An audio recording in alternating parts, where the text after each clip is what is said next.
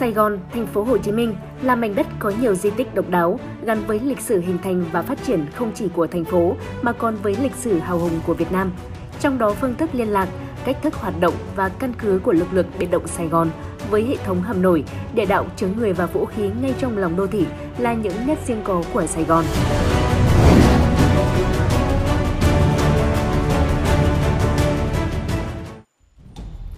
Các đơn vị du lịch tại thành phố Hồ Chí Minh đã xây dựng các tour du lịch theo dấu biệt động, đưa du khách đến tham quan, tìm hiểu về những hoạt động thầm lặng nhưng chưa biết bao kỳ tích của lực lượng tinh nhuệ này thông qua các di tích lịch sử, căn cứ của các chiến sĩ biệt động Sài Gòn cùng những câu chuyện hào hùng từ các nhân chứng sống. Trong các di tích lịch sử liên quan đến cuộc kháng chiến chống Mỹ ở Sài Gòn, có một di tích nằm ở địa điểm khiến nhiều người bất ngờ, đó là quán Nhân Hương trong Thảo Cầm Viên Sài Gòn. Ngược dòng thời gian, vào năm 1963, Bộ Tư lệnh Miền đã chọn Thảo Cầm Viên Sài Gòn làm nơi xây dựng cơ sở hoạt động bí mật dưới bình phong là một quán ăn. Sau khi thành lập, quán Nhan Hương là cơ sở nuôi giấu các đồng chí lãnh đạo quân khu và chỉ huy biệt động đến thành phố công tác, nhận chỉ thị của lãnh đạo cấp trên, đồng thời là nơi lãnh đạo gặp gỡ chiến sĩ để đưa ra chỉ đạo và động viên tinh thần trước các trận đánh. Song song đó, quán cũng là một nơi hoạt động kinh doanh để nuôi sống gia đình ông Nguyễn Văn Tửng và cung cấp một nguồn tài chính cho cách mạng.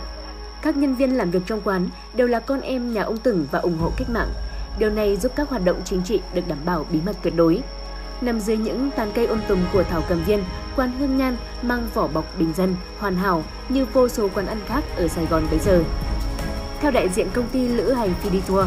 việc kết hợp với câu lạc bộ truyền thông kháng chiến biệt động Sài Gòn và gia đình anh Trần Vũ Đình là con của biệt động Sài Gòn Trần Văn Lai đã giúp cho đơn vị xây dựng được chương trình theo dấu biệt động Sài Gòn chỉn chu và ý nghĩa hơn.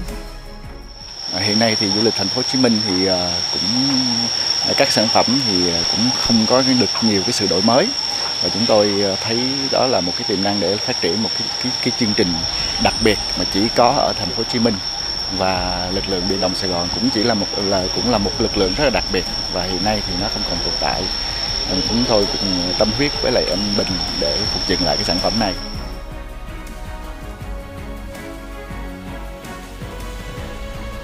Bảo tàng biệt động Sài Gòn gia định, đây là một địa điểm với nhiều trải nghiệm thú vị khi du khách có dịp trải nghiệm thang máy thời Pháp độc nhất vô nhị.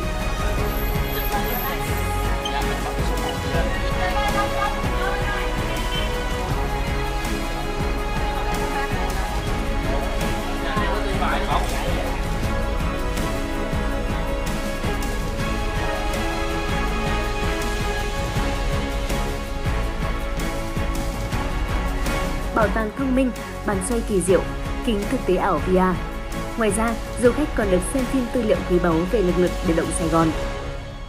Con tôi nó làm được giỏi những cái này thì tôi cũng là phấn khởi, cũng làm nghĩa là cũng gia đình mình cũng được cái, cái tiếng tâm của biệt động cái này để lại.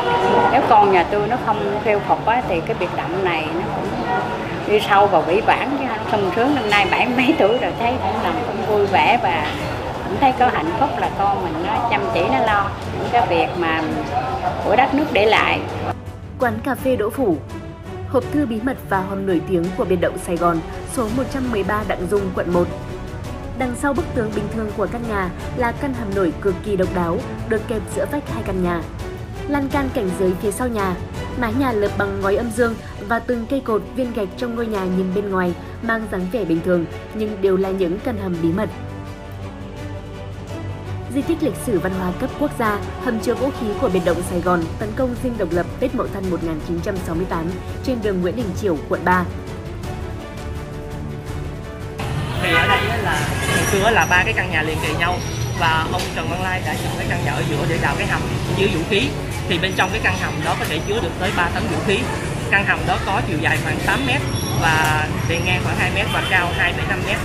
dạ. thì cái lối xuống hầm này rất là nhỏ và bên trong ở dưới căn hầm á, thì được thiết kế rất là tinh vi, có những cái lỗ thông gió để giúp cho những cái chiến sĩ mà khi mà cất giấu vũ khí ở bên dưới thì chúng ta cũng có thể là thở được bình thường